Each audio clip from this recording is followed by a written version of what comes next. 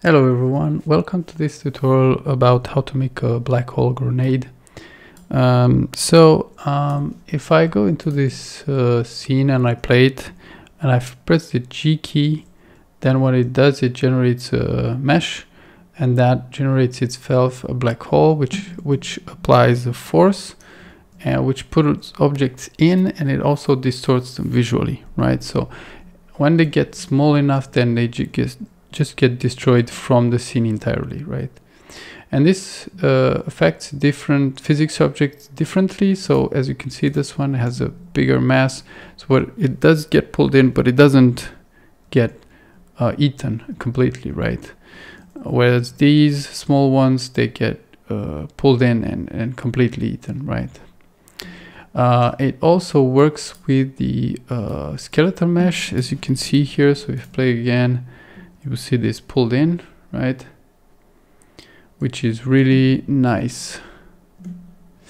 Okay, so let's see how this works. So I'll make a, an overview of uh, different elements involved and then we can go into them one by one and, and talk about the details.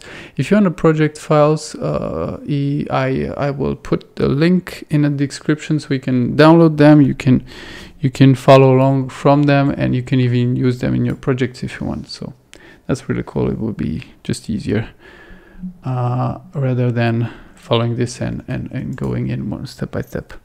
But I do still encourage you to watch this video so you get into the details to understand what's happening. I will put the different sections in the video on the bottom so you understand. You can jump in to whichever section you want.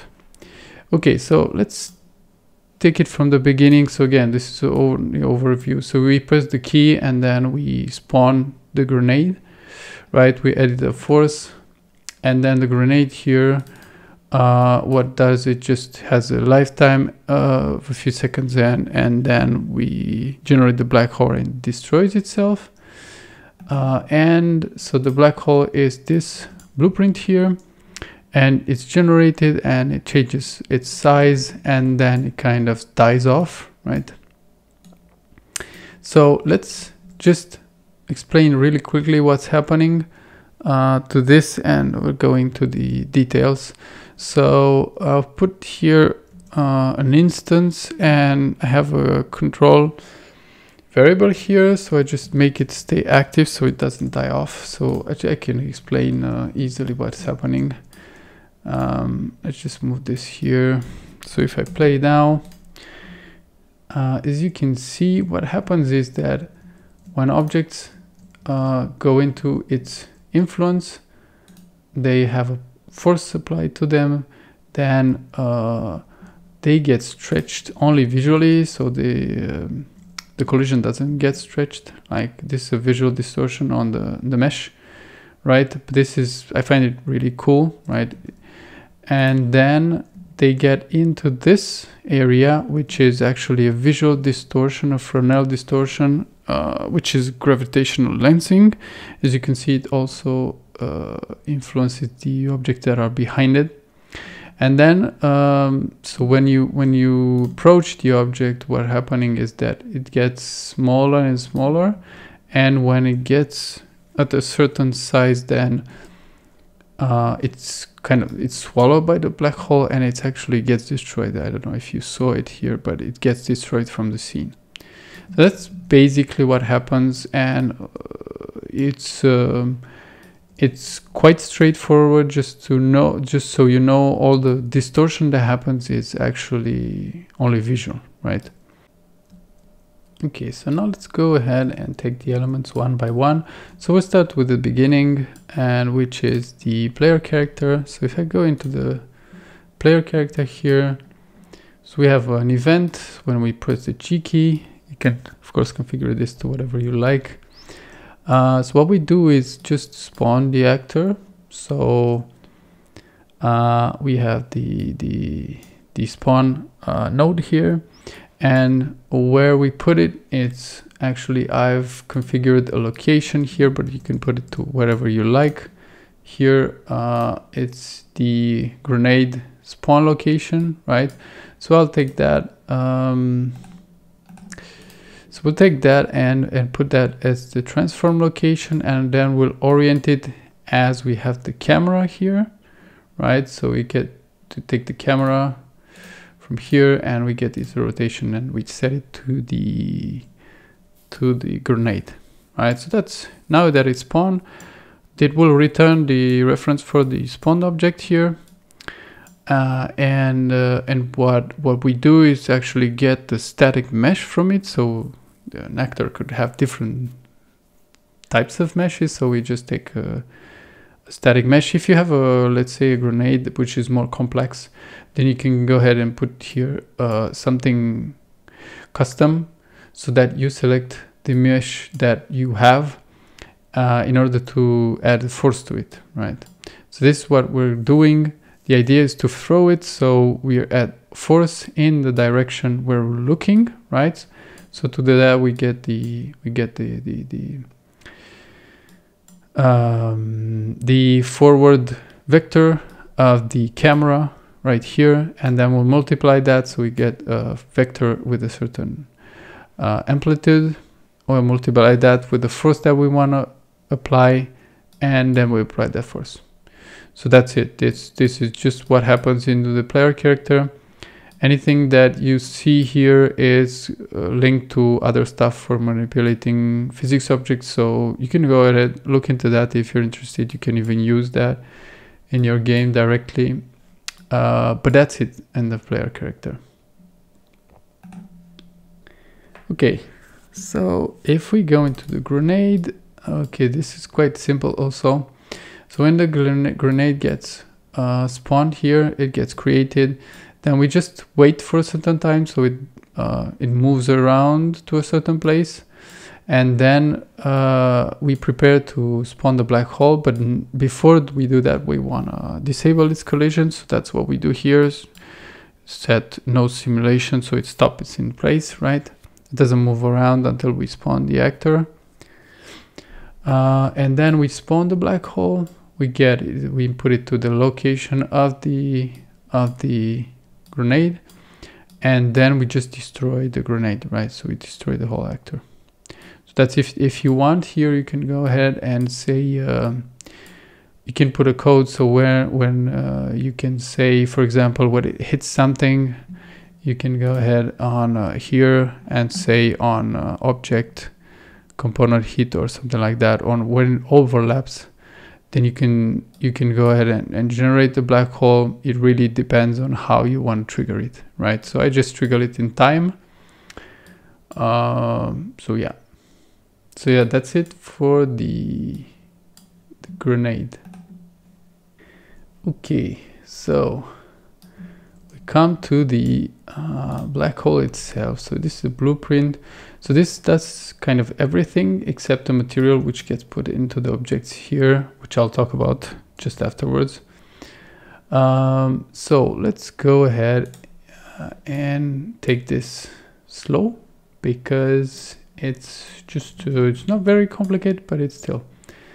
So what happens here, it's that um, we have different objects here and I'll, I'll uh, I'll just uh, explain them one by one so that it will make sense. Then we go into a code, we will make, make sense what, what's happening. So first of all, at the center, we have what, what I call here the visual distortion. So it's the Fresnel lensing, the gravitational lensing that gets applied. And of course the, the black spot here.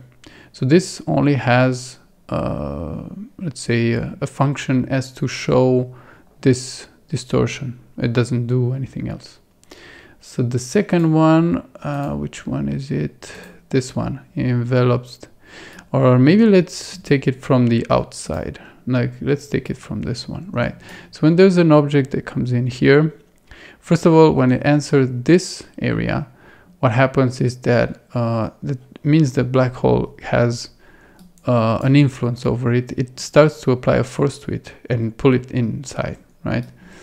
but that it, the object doesn't really get stretched until it gets to this uh, uh, to the, this range right so when it gets from here it starts to get stretched inside right Again, that's only a visual stretching. It doesn't affect the collision, but it's it's quite cool nonetheless. So if we if we continue to go forward, uh, it it's here it's what I called enveloped. Enveloped it means that uh, the object theoretically it's kind of like a, it passes the point of no return and then what happens here then if we apply uh, damping of the motion so that the object doesn't disappear really quickly because I, I find it it's, it's cool right? So we dampen its movement and then we uh, here it's it gets uh, normally it gets uh, pulled in even stronger right? But it's about damping here. And when it gets here uh, it's it's uh, visualization let's say it's a, a, visual image gets destroyed even uh, distorted even further. And then what happens is that um, all the way from I think it's yeah when, when we start the envelope then we change its size so it's become smaller and smaller. And then it's a uh, at certain point then we destroy it when the size is becomes really small. Yeah so um, that's kind of the big picture of how this works let's go ahead and um, let's go ahead and take it one by one. So here in the event graph we can see the different functions and I'll go over them really quickly so you understand what kind of what happening right? So what we have here uh, um, on the top we have the, when we begin play, uh, it, this is what happens here is we um, we scale up the black hole. We make it bigger because we we actually spawn it a, a small size, and then we make it bigger here, and then uh, we wait for a certain time, and then we make it smaller again, and then we release uh, all the objects that are have been in under the influence and then uh, you know it's some objects may be under the influence but that they not they have not been destroyed. So then we have to put them back let's say how they were before at least their properties right? So that's really um, kind of its lifetime here right? Now we have different uh, events here uh, depending on the, what's happening. So what we have is detect and remember the objects. So when we have uh, begin overlap on the influence that I talked about here, uh, then what we do is remember the objects that we are influencing and put them so that we can we can attract them, right? And then when it goes outside, it's also it releases the object, right? So it's overlap and overlap. And then what we do on each frame is just uh, destroy components that are really small and attract components that are under the influence. So that's basically it, right? This is, this is the whole event graph. Now, before I go into the details here, it's important to understand uh, the uh, distortions that take place, visual distortions, because what happens is that they, they get called here, right? So if you don't understand that, it will be difficult to understand what's happening here. So there are two main distortions that uh, are uh, taking place. One of them is the visual distortion here. So it's just a material, as you can see, black hole material here.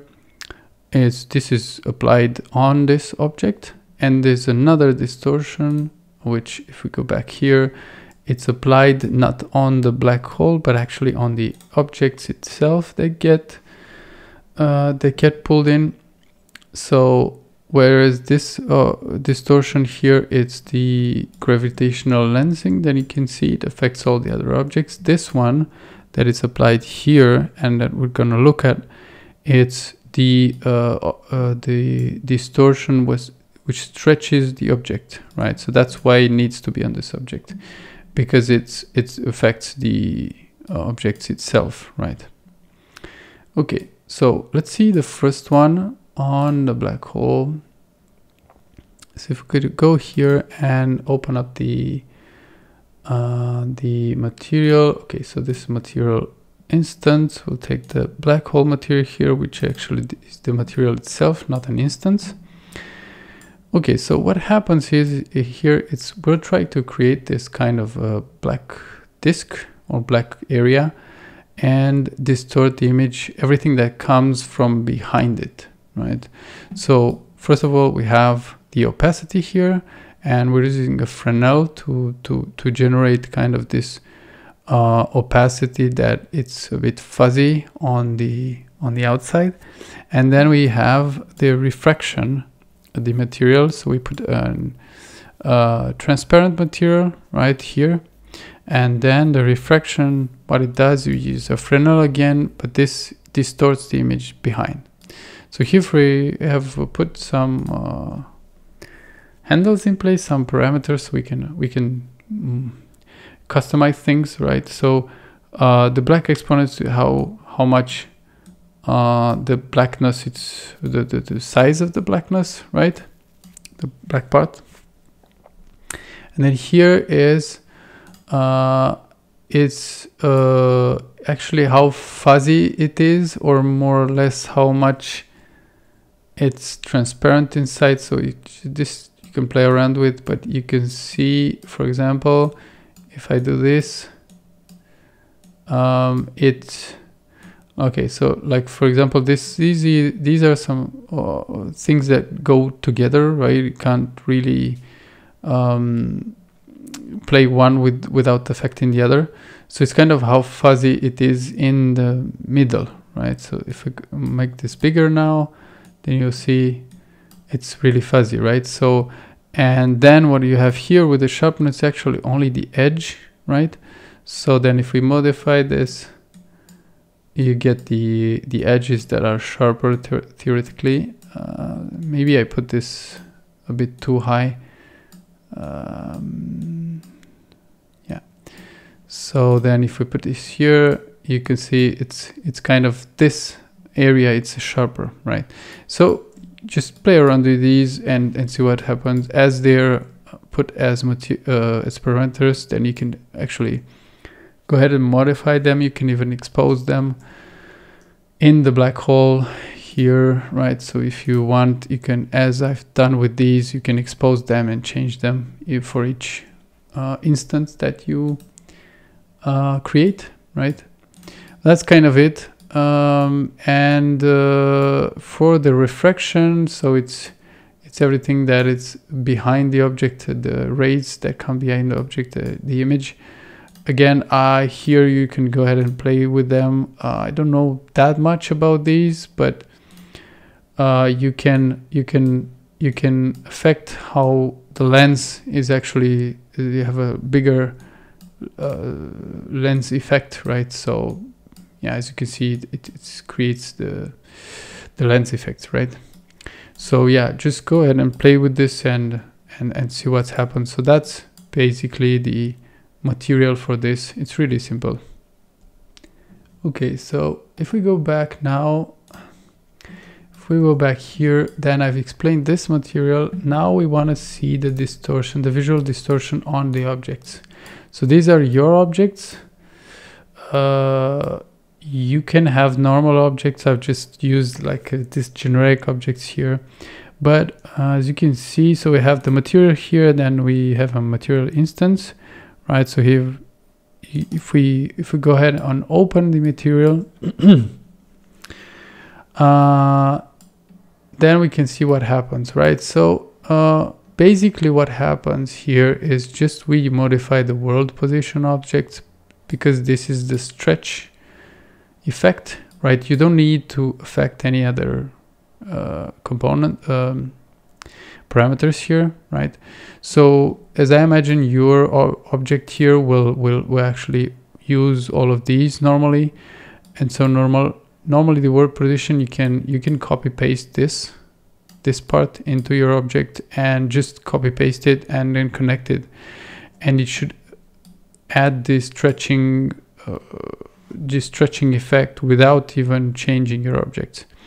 and if you want you can also make it uh, an object um, a function right? So you can add it really easily to all and actually blend with the object that exists. But i guess that's you can find that somewhere else right? You can there's tutorials on that.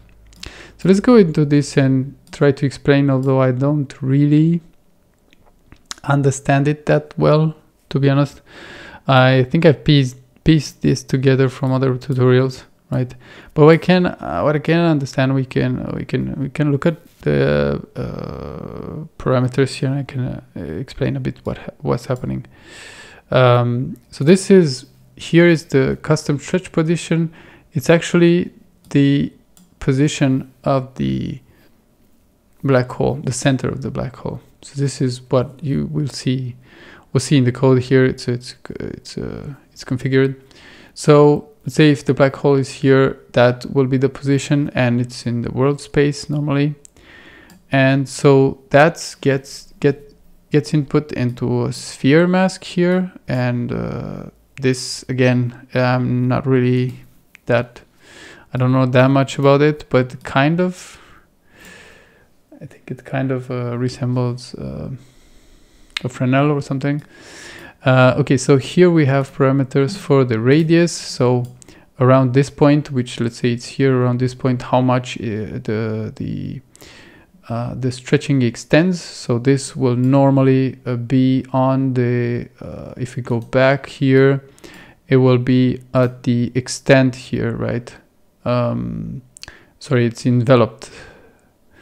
So then it starts to stretch it from here, right? So if we go back, so that's what this radius does. It's actually uh, uh, we uh, we configure it from the black hole when we when we take the object in and the other one it's hardness it's how much it's stretched right because you can stretch it a little bit and then you can stretch it more and then you can you can configure this so so it gets gets a more uh, let's say um, drastic, drastic effect, right? And then here we get some lerping. Uh, yeah, again, this um,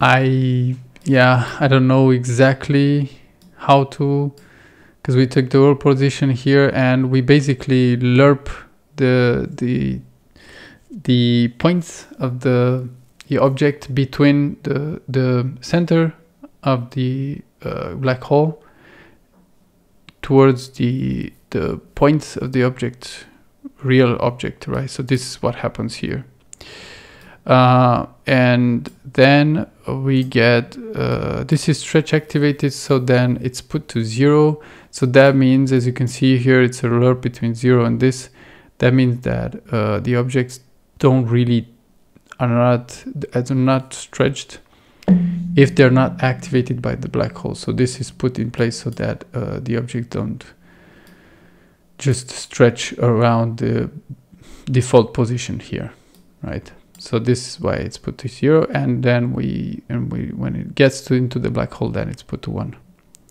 So that's kind of it. Sorry, it's not that much of an explanation, but you can just copy it and play around with it, right? Okay, so let's go into the blueprint then again here and we'll start with uh, we'll start with uh, detecting objects. Okay, this because this is quite simple and you should be able to understand it now. So on begin overlap on the influence extent, again, if we go back, the influence extent is the biggest one. So this is when we start applying a force and the black hole knows of the existence of the object. So what we do here, we take the actor and component where we check if the if what we got is valid and that the component that it's overlapped with the extent, the influence extent here, uh, it's simulated physics. And then we say, okay, then it's this is compatible with what we attract and then we can continue. Otherwise we just uh, ignore the object. So let's make a pause just to make sure we take into account this. So the influence extent, let's go into the options here. so basically this is um, uh, this is um, sorry it's escaping me right now but it's just a um, it's a collision a sphere collision right and then you have a radius uh, here that you can configure right so if you want to if you want to configure the extent you just uh, change this and you can also output it as a as a parameter here as I've done and you can change it from the outside so that's nice thing to have if you're interested. But what I wanted to look at here is the collision actually the physics right? So this doesn't simulate physics it's tied into the main scene root here of the black hole. Um, and it's um, uh, I don't know if it's enable gravity but we don't need it but I don't care uh, the most important thing is the collision. So let me search here. Right. So the collision is overlap or dynamic. So that is so that we know we can generate overlap events and make sure that this is put to true. Other, otherwise you don't have any event, right? So we overlap everything that is physics objects and it moves. And so this already here it's it helps us to filter some objects like for example the character. We don't want to influence that. We cannot influence. Uh, okay so that's kind of the the options for this. So if we go back now and then all component begin overlap then we check that everything's okay here as we've seen now we have register component here and what this does is, well, what we do here is we take the object and we put it in, uh, we put it in a structure. So we remember it in an array, right? Um, okay, so because we're affecting, if you remember, we're affecting its dampening. Let's go back here it's damping in the envelope extent. We just make it move slower so it doesn't disappear right away. So because we we need to do that, we need to remember when we register a component, we need to remember the, the damping here, right? So that's what we do. Uh, and uh, this is actually uh, it's actually a local variable, right? We create a local variable with all this. And if we look here, I've created um, um, a type for this, right? Um, and uh, let's see, browse to type. So this is it's a type. It's here. We have the component and the damping and and original scale. That is because we also scale it. So we, we remember also the scale, right? So just looking at that quickly. So again, sorry, it's a bit, but when we go here, it's also starting when it's enveloped, right? It's so, so it's also starting to scale down. So that's why we, uh, we remember the scales here in this custom struct that I've created, right? So then we set the overlap factors here. This is a local uh, variable. So, so you can look here.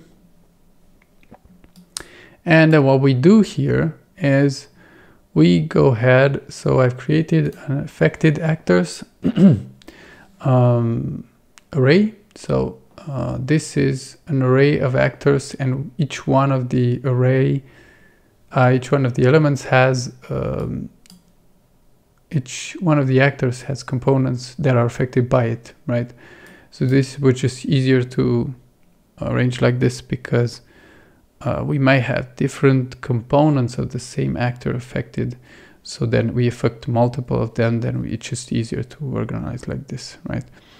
So here um, it's also a type. It's the second type. So this was for the component. This is for the actor. And then, so we have an actor reference here, then all the components, which is in an array and this array is the type of the one that we saw right here, right? Actually, hmm, is it though? Mm -hmm. Yeah, so it's component type uh, struct here. And then we also remember the initial scale of the actor because we're gonna change it, right? Okay, so if we go back then, so we have these two structs explained now. Uh, so if we go back, just so you know, we're into the register component. What we do now is we, uh, yeah, so we go through the, we just add the element, the actor that we discovered to the array and then add the components to that, the array associated with the, this actor, right? So here, so we just break the, the, the struct. Um, so let's see here, we, uh, yeah, so here we search actually if we already have the actor, right? Because we might overlap an actor that we already uh, have. So we just check that the overlap exists. If not, if it doesn't exist, then we add it right here. Um, okay. And then we say, okay, we found the actor. Um, and then we go for each uh, when we complete this, we go then for each actor and uh, let's see. Yeah, so then we add, if it's, if it's uh, added, then uh, we just add a new uh, array with the components because it's normally it's new. Uh, so we won't have any components. and yeah, that's what happens here.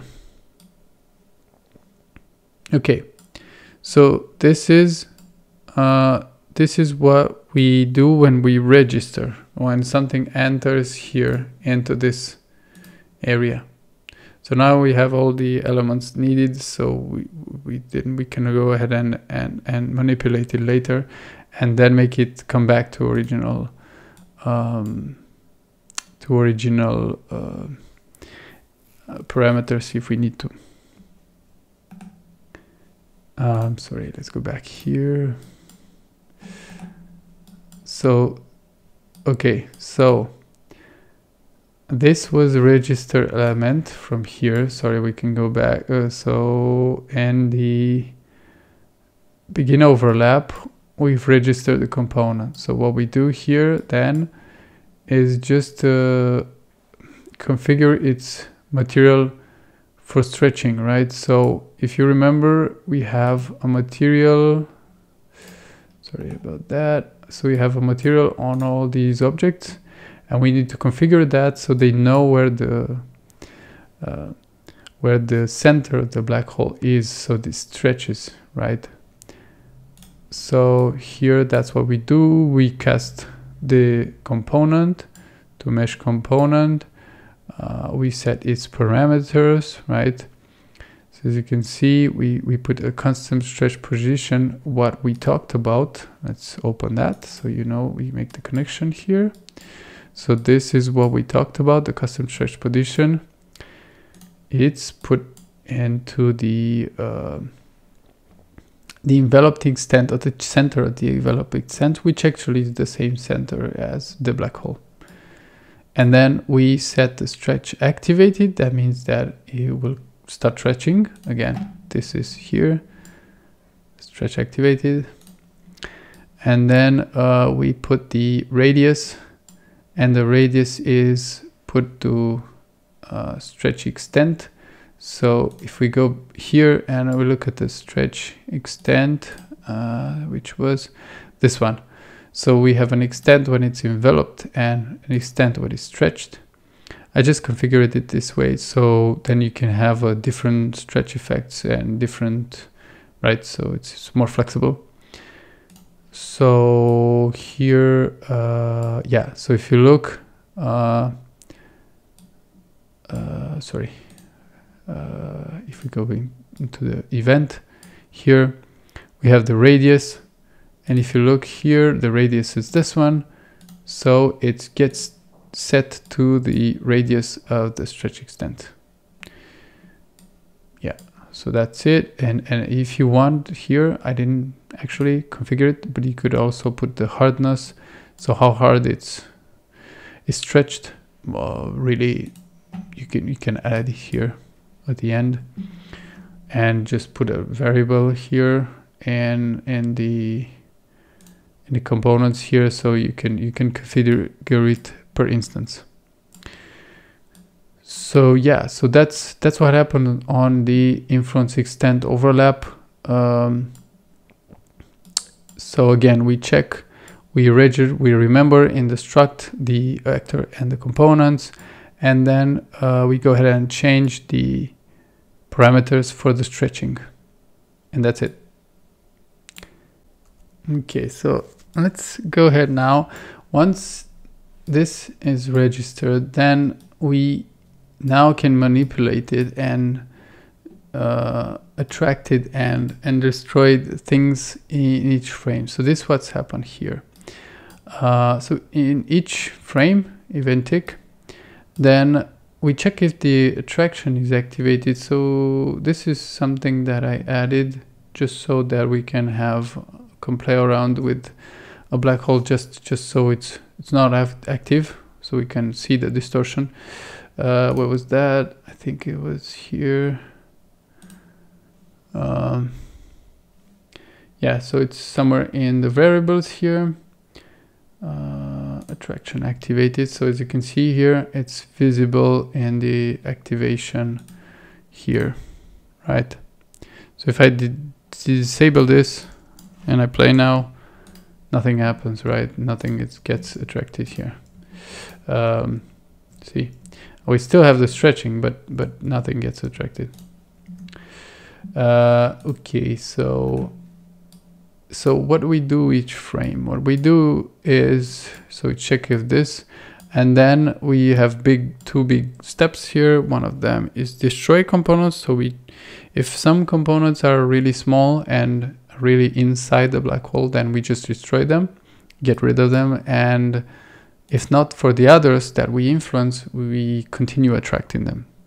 So we apply a force to attract them. Okay so let's go into the destruction here. Okay, so what happens is we go through the the array, uh, the struct with the actors, and then we say, okay, if this, for each one of those, you have, um, for each one of the actors, we go into the array of the components of the custom struct that is uh, created. This is a break, right? So we break, uh, so we take uh, the elements. I think you should know that. So for each one of these, let's see, this is a bit, okay. So what we do here, we actually calculate it if the condition is met to be destroying the actor. And so this calculation, so we get the component as you can see. Uh, so this calculation is actually done on the actor right? So uh, we get the position of the actor, the root component here, actually. And we say, okay, so this, if this actor is at a certain distance from the center of the enveloping extent, as you can see, minus this, right? Uh, then we, okay, so this is the distance because there's two vectors and we subtract them so we get the distance between if we go here let's say the object is here and the center is here we get just this distance from here and uh, so we take the distance and we divide it by the uh, the radius of the enveloped extent so enveloped uh, which is here right so what happens is we say, okay, the distance with the object and this distance from the center here, eh, are they, are they, and we divide them and say, uh, is this less than 0.5? So that it means is that if it's less than half this distance here, then we say, okay, it's, it's probably enveloped and then we just destroy it, right? So uh, again, you can you can change this to whatever you like, but that's the values that I found works. Now you would say, uh, if we go back here, you would say, okay, but but if it's a half, then it's still visible, right? But it's not really because we have the stretching and the distortion a bit. And what stretching does that uh, makes makes it so that that the object is almost already not visible when it's here, right? So you can go ahead and safely destroy it. So that's the uh, that's the condition. Again, you can put whatever condition you have you want here. Um, and we just we just check this condition and if so and then we just go ahead and destroy the actor now here uh, maybe talk uh, maybe I will talk about in the limitations about this but uh, the idea here is that you could destroy components and not object itself. Uh, that's more complicated and I didn't want to do that here. So if you really have like a complex object where you have different components in the same actor, that some of them will get destroyed and some of them not, then you will probably have to want to change this so that you destroy each component uh, in of itself, right? which is a bit complicated to be honest. And I, I prefer to keep it simple. I have simple objects here like cubes and stuff like that. So, but but even it's even the actor, right? So if you go here, uh, sorry, the skeletal mesh. If you if you take the skeletal mesh, okay, let's activate this again and play. So if you even if you take the skeletal mesh like this, it still looks normal. See, it and it gets destroyed correctly, right? So to be honest, I, I would I wouldn't change this. But if you need, you can do that, right? Let's say you have a car or something like that. Uh, but not car should be okay, but like complex objects.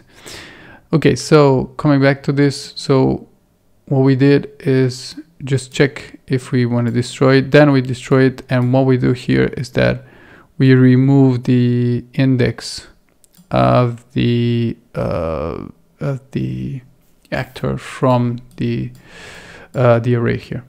So that means we destroyed it and we cleaned up our references here.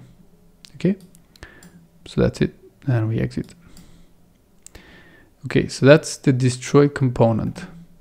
So this means that all the components that are inside uh, the black hole, which we don't see them uh, anymore, then gets destroyed. So this is then if we continue, okay, so each frame, if you remember, uh, then we have to attract everything that we our influences. Okay. So as you can see here, let's see. So we have our array of actors and components. We go through it again, right? If we say, uh, if the, I think I added this check here if uh, actor is valid just because there there might be uh, actors that when we destroy them so see again. When we destroy them here they might not be destroyed until we get here because uh, they they get to the garbage collector and they may not might not yet be destroyed. So this if we say if it's valid if it's not destroyed but called to be destroyed then it will not be valid even if it's still there right?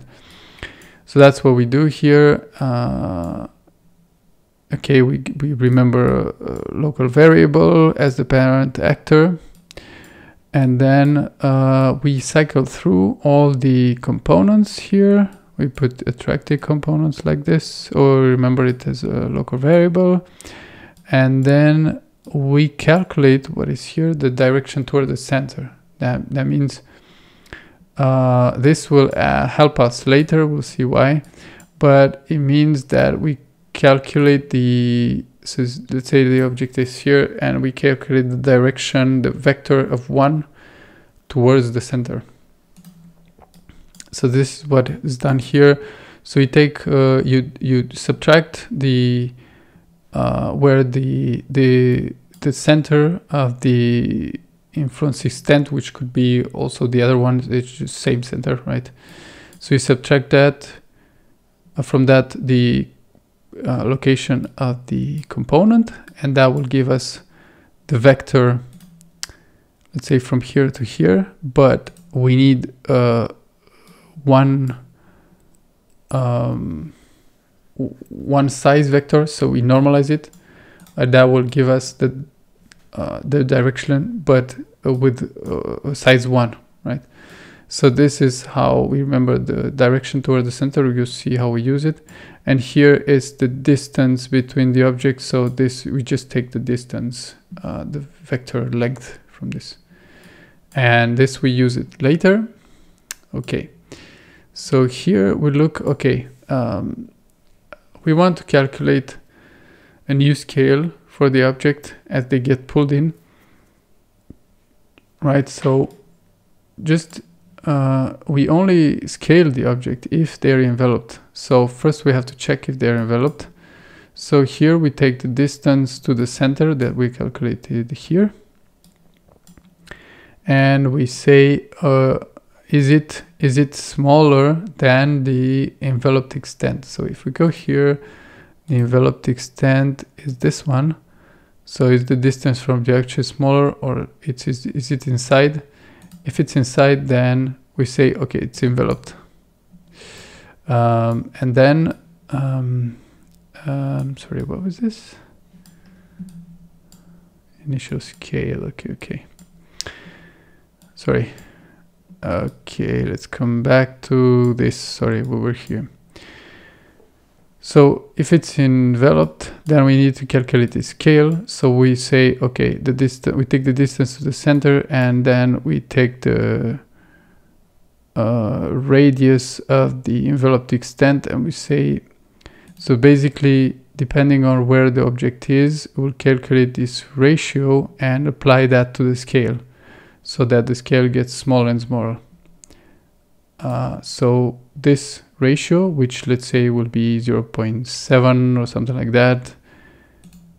If it's here, it's maybe it's gonna be 0.7 or something like that.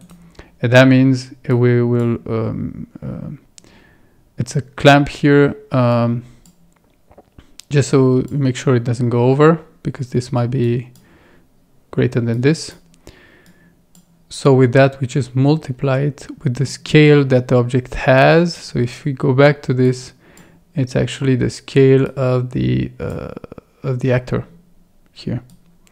So it's the initial scale which is multiplied by this ratio depending on the distance from center and then with that we set actor scale uh, okay so this is this is what is remaining from the fact that I tried to actually scale the components which was really hard so I, I actually can delete this. Um, yeah, so then we set the scale of the actor. That means it's smaller now uh, than it was before if it's if it's closer to the center. And what we do here is add the damping, right? So the damping, um, uh, the damping, uh, yeah, we could we could also okay. What what is noted here is that we could also do this on the entering on the enveloped well I did it every frame here to be honest it's it's not the most um, it's not the most efficient but if you want you can go ahead and uh, make it more more efficient uh, uh, by by putting some parts elsewhere but yeah so the idea here is that we set linear damping of the component that we have so um, uh, here we select if it's enveloped or not. Then we say, okay, envelope damping, and this is a, a damping value that you can uh, set here. You can also it's uh, you can also put it to configure it from the outside if you really want. So set lim damping, and then we set angular damping also. So rotation is also dampened, right? So now we have uh, we have scaled it. Now we're dampening it, and then here we just move it with a force. Okay, so we just add a force simply towards the center, and the whole this it just calculates the direction and the amplitude of the force. So you have the direction of the force which we calculated earlier. So again, this is a vector of one theoretically um, and a length of one and you just multiply this with uh, an attraction force that we defined um, and uh, and you have a selection here because you either are attraction force I think it should be influence force but anyway. Or envelope so that means the attraction force applies here from here and the influence extent towards the up until the enveloped instance. And once we pass the objects here then we apply another which is the envelope force. So as you can see the attraction force here and envelope force is which is greater. Now you can leave it the same or however you like. But yeah so this is nice nice configuration to have so then the object get pulled even stronger so if you have uh, objects that are really have a high mass then you can put this higher and that's so they get attracted. So we just apply that force and, and that's it. So that's a bit longer as a function, but if we go back, so this is basically what we do each frame, right? Uh, we destroy and then we, we attract components. So now what happens when we release the objects? Okay, so when we release what uh, we, we could we could say that destroying is releasing and that's one thing but release meaning that uh, either the black hole gets smaller because it's at the end of its life and it lets go the objects or either the objects let's say uh, let's say the one object passes let's say it passes through here like this and it escapes right you can do that also the, the force is not enormous, right? So it goes up. So when it escapes, uh, then we we want to unregister it and and like set back all the everything that we done before to it. So it it has the same parameters before. So what we do that here is on component end overlap again when it goes outside here. Uh, then we just unregister components. So let's see here. So we go through all the actors here.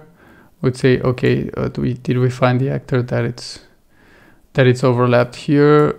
If so, then we go ahead and break that onto components and we take a component and then on the component we apply all of these which are actually uh, all the settings mainly on the material and on the physics right?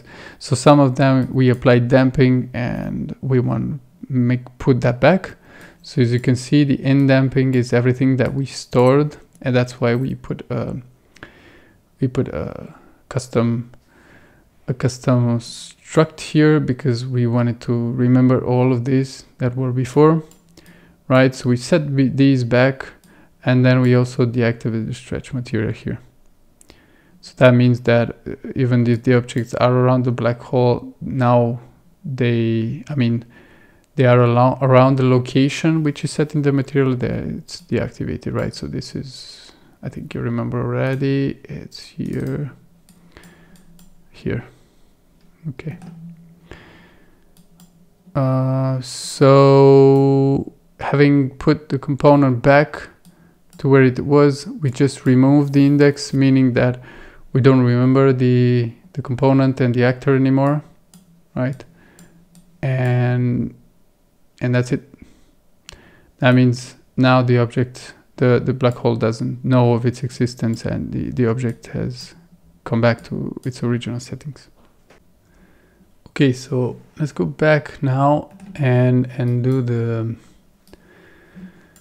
last part, which is actually the uh, the part about the black hole creating itself and dying. And actually what I've done here in between the uh, video sessions I have actually cleaned this up because there was a lot of code that was uh, uh, that was there that it's not there anymore so this is different from like the beginning of the video so it's it's kind of normal okay so the idea is that here for this part what you have is the cycle that you have when we I'll say here okay so it's it goes bigger then it waits and it goes smaller. So that's what, what happens here.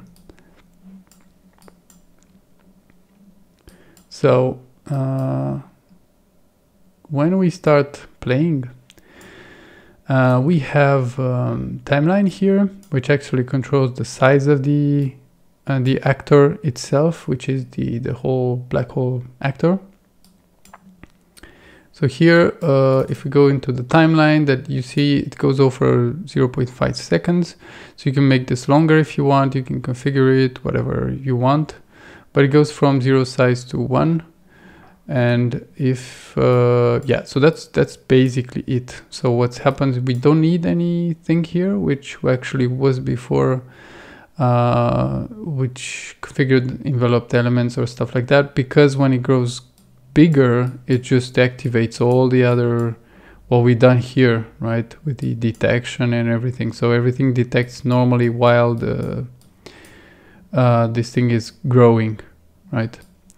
So uh, then once it's grown, we uh, first we see if we want to keep it active. So this uh, parameter that I choose configured. So if we check this, then it stays like that indefinitely. That's why we don't do anything here.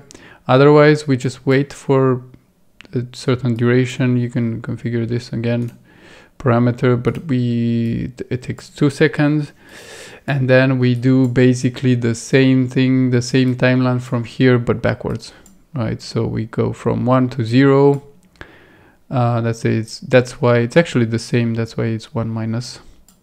Um, and then we set the actor scale again of this uh, so now it's really small, uh, but just before destroying it, because we're gonna destroy it here, we wanna make sure, now technically when it's small, when it's getting smaller, it should uh, spit, let's say, spit back the objects that it's enveloped. Uh, but just to make sure, what we do here, we just go, go ahead and clean up everything, right? So now it's really small, it's theoretically zero in size. So uh, we go we go here and we say uh, we go through the actors and the components if they're still valid, if it's not destroying any of them. And uh, we set the initial scale of the actor. And then for the component, we're going to unregister every component that we have, right? So, um, yeah. So then after that, we just go ahead and destroy the, the black hole itself. And that's it. Yeah. Okay, so I, I just realized that I forgot to um, take into account the sizing of the black hole while setting the stretch material here. So see we detect and remember objects, right, when, when they overlap, right? and then I put the uh, stretch extent right? But the problem is is that this is put only one time and so when we scale up we only put one. So it stays small when it scales up. So what I what I did in between uh, so I took this and I put it so to execute every frame so that when we scale upwards then uh, the stretch radius is put um, every frame, right? So at the end, if you remember, we stopped here. Normally we added force and we didn't do anything else. Well, I just added here. So I put a comment to say that. Uh, so I cast here. So and set the scalar parameter and set the sphere radius to the stretch extent, right? So um, here it's stretching as it goes bigger, then we set it each frame. So now if we if we uh, if we go here and we put it inside, let's say here, then they stretch immediately. Otherwise, what we had before, if I de deactivate this like this, and I compile again, and I go here, you'll see that they don't stretch immediately. See, they just get smaller, but they don't stretch. So if I activate this again, and come back, you will see they, they can they start stretching immediately. See? now they get stretching. So that's one thing I just fixed now because I realized it wasn't okay. So yeah. Okay, so let's talk a bit about limitations and maybe some bugs that can appear. So if we go back, uh, so this one is not actually limitation, but if you see, okay, so this has different mass. Uh, let's see, it says 500 kilos, right? So this is smaller, it, it depends on the volume, right?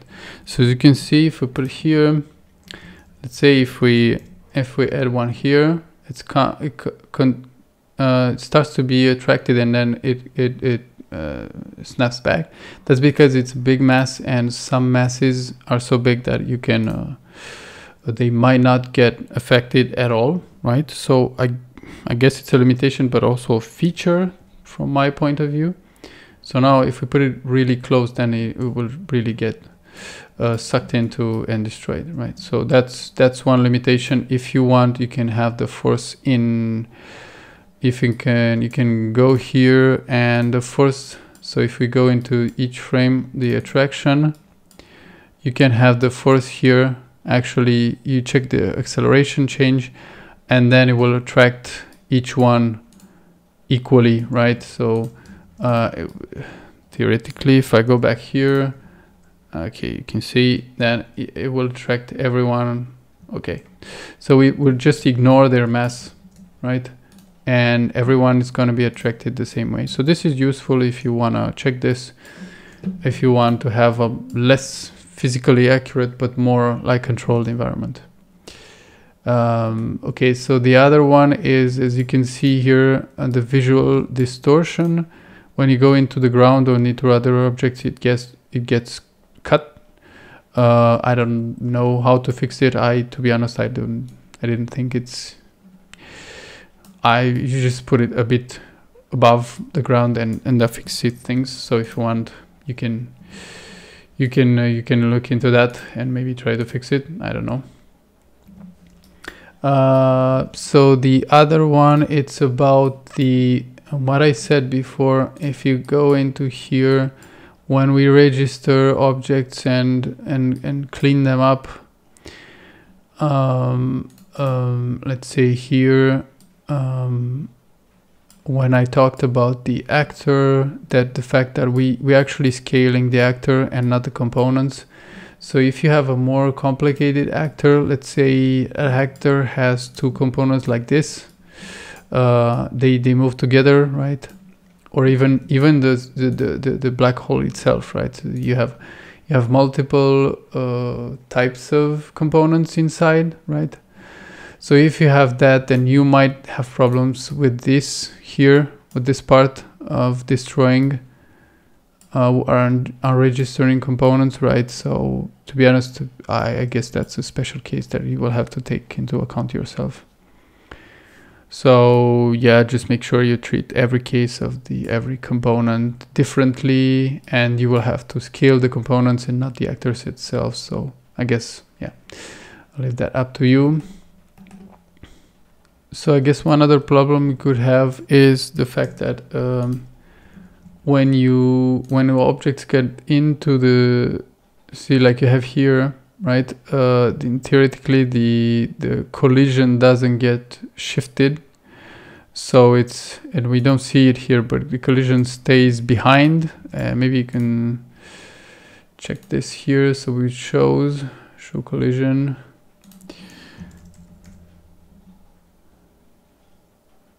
Uh, maybe we can see it like this. Uh, no, uh, let's simulate. Yeah so so see if we if we take this closer you'll see that the collision actually doesn't it just gets smaller but but uh, see? Uh, the the object gets smaller but it doesn't really stretch as it does visually so that might cause problems if you don't have uh, I don't know if you have like interaction inside the extents of the black hole, inside the, the influence, right? Okay, so I guess that's it for the tutorial. So um, I guess I will either see you in uh, for another tutorial in like one month or something, or maybe in a few years. I don't know, but yeah, uh, I guess we'll see. so you guys go ahead and make some cool stuff with this. So um, yeah, see you in the next one. Bye bye.